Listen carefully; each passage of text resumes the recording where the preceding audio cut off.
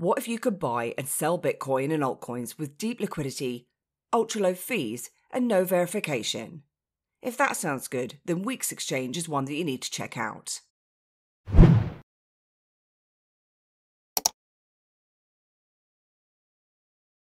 In this video, I'll walk you through everything you need to know about spot trading on Weex, including how to sign up, deposit and withdraw funds, place trades, and secure your account.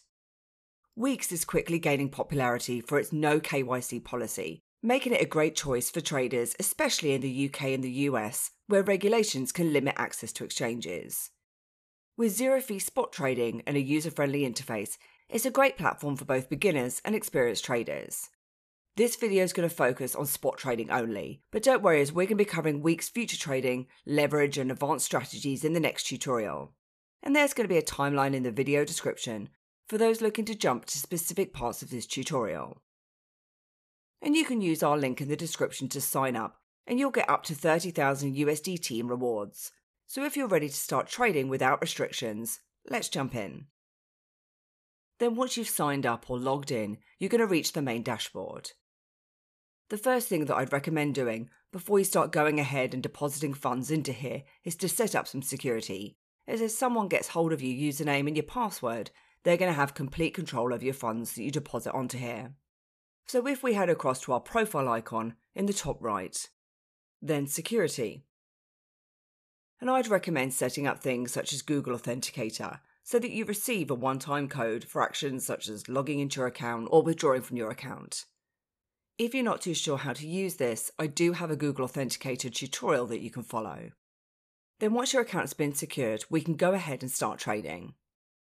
From the main homepage, we've got competitions and bonuses. Plus we have a list of markets here, which is essentially what we can trade. And you'll see these categorized between trending, gainers and 24 hour volume. Plus you've also got some new listings over on the right. From the top of the screen, you see we've got futures, and spot. And if you're brand new to trading and you don't know the difference, I'm going to quickly explain it. So, with spot trading, you can buy and sell crypto instantly at the current market price. When you buy Bitcoin in spot trading, you actually own Bitcoin, and you can hold, transfer it, or sell it whenever you want. With futures trading, you trade contracts that represent the price of crypto instead of actually owning the asset. And this allows you to bet on whether or not the price will go up or go down, and you can use leverage to increase your position sizes. But it does come with higher risks because you can get liquidated. In other words, lose your trade if the market moves against you. And because futures is slightly more advanced, we're going to cover that in a separate tutorial which we'll link below. Today, we're just going to be concentrating on spot trading. But before we can start trading, we're first going to need to fund our account.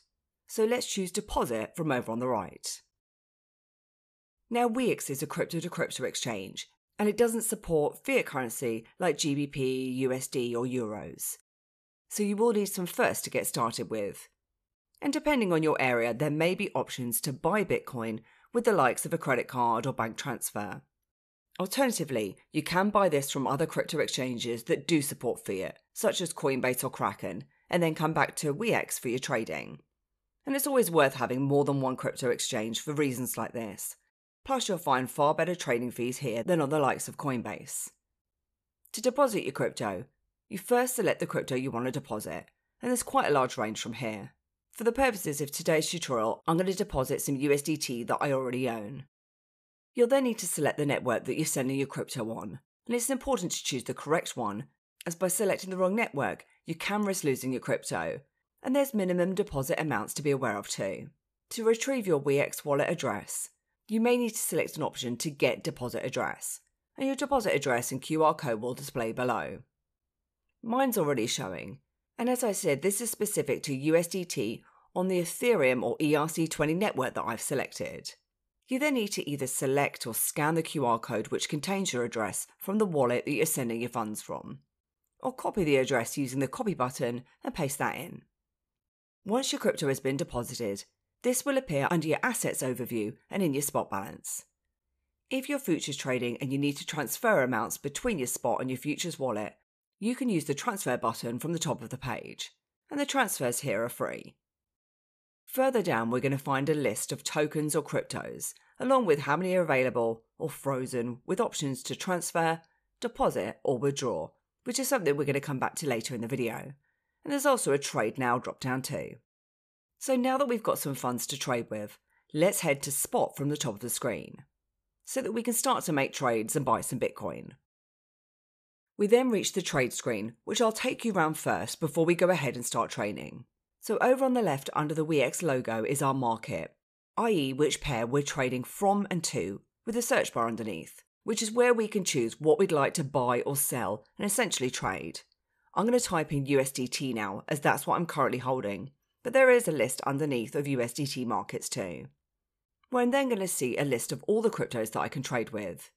In this example, I'm stating that I'd like to buy Bitcoin with my USDT, so my pair is BTC USDT. It then shows the current market price and the equivalent in US dollars.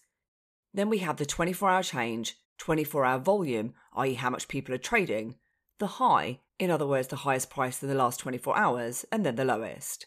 And these values are all applicable to the pair that I've just chosen. In the centre of the screen, we then have our chart, where we can monitor over periods of time and analyse. Plus, there's also some helpful tools that you can use on the left. On the right of the screen is the order book, and underneath there's potential sell orders on top in red and buy orders in green underneath. In the centre is the current price. Beneath the chart is where we can place our orders or trades. Then at the very bottom of the page is where we can view our open orders, order history, order details, and then a list of any assets. Let's go ahead now with a trade and purchase some Bitcoin with our USDT. And there's two different types of trades that you can place with Weex a market order or a limit order. A market order will buy or sell instantly at the current market price, and this is the fastest way to trade if you want to quickly buy or sell your crypto. Whereas a limit order lets you set a specific price at which you want to buy or sell. Your order will only execute if the market reaches your chosen price, and this gives you more control, but it can take some time to fill, or it might not fill at all if the price never reaches your price. I'm going to show you examples of both now with a buy and a sell order. We're going to start with a market buy order. Now, we've obviously already got our market set up, i.e., what we're trading with. Then, to buy Bitcoin with a market order, you simply go to the left hand side of the trading section where you're going to see that big green Buy BTC button. And as you can see, the price that you're going to be buying at will be the best market price available. Then you enter in the amount that you want to buy, or you can use the slider to select a percentage of your available balance. I'm going to choose to buy with 100 USDT, which is roughly $100. Then, when you're ready, you can choose the green button to buy BTC. With a market order, like I said, this is instant, therefore, your Bitcoin is purchased immediately. Under order history at the bottom, you'll see the price that I've bought my Bitcoin at, which is $83,271, and it then shows how much Bitcoin I've purchased. Order detail then breaks it down a little further and shows any fees that you're paying. Now, in terms of fees right now, Weex spot rates are at 0% for maker orders and 0.1% for taker orders. If you have no idea what that means, I'm going to quickly explain that in simple terms. So, a maker order is when you place a limit order that adds liquidity to the order book. In other words, when you're setting a buy price that's lower or a sell price at a higher price. A taker order is when you place a market order or an existing limit order that removes liquidity from the order book by instantly matching with available orders, as we've just done. Any crypto that you purchase is available instantly. If we head across to our balance now by clicking onto the profile icon in the top right, next to deposit, then click on our balance, we'll reach the Assets Overview page again, where we'll see our purchased Bitcoin, and what you do with it is completely up to you. I'll show you how to withdraw this shortly, but first I want to show you another order type. So let's head back to Spot. So that was an easy type of order to place, and it means that you can get in quickly with a buy or sell order.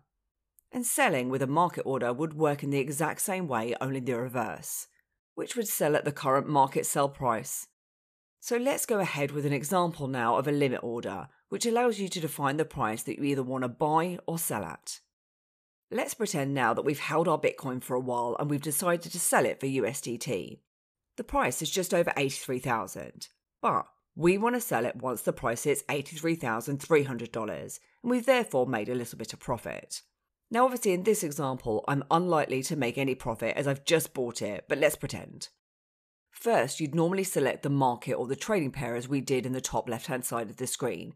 In other words, what we want to sell our Bitcoin for, which could be a stable coin to lock in the price, or you could be trading that for another crypto. Because again, I'm using the Bitcoin USDT market, I don't need to change anything.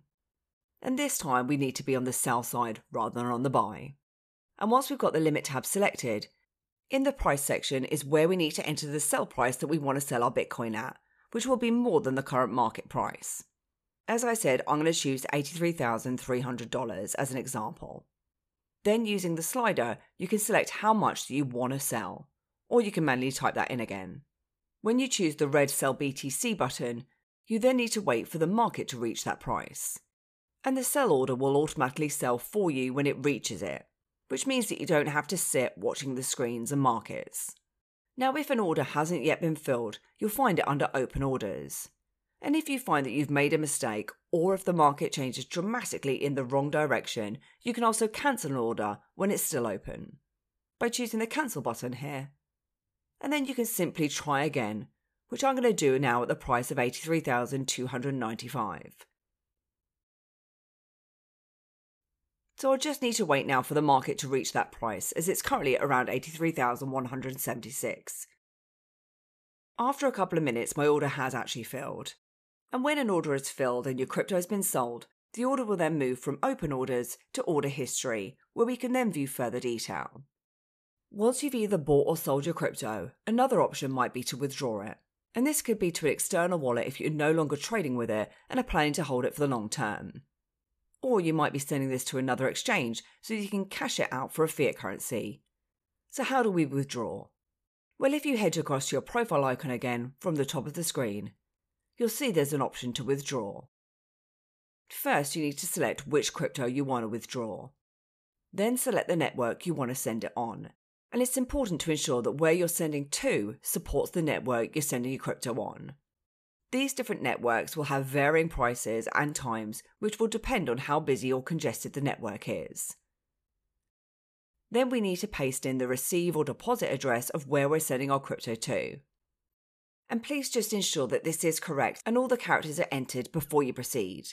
Unfortunately, crypto transactions are non retractable, and just by making small mistakes, it could mean that you lose your crypto forever. So just double check everything and maybe consider sending a small test amount first if you are feeling nervous and when the withdrawal fees are low. Next, we need to enter the withdrawal amount, and any minimum withdrawals will appear in the amount field underneath, and any limits above on the right. Or you can choose withdraw all from here. The transaction fee for this withdrawal will appear underneath, with the expected arrival amount showing underneath, which is minus the fee. And when you're ready, you can then choose to withdraw. But that completes the Weex Spot tutorial. Don't forget to use the link in the video description to get the welcome bonuses. And I hope you enjoyed this video. If you did, please give us a like and hit the subscribe button for further tutorials.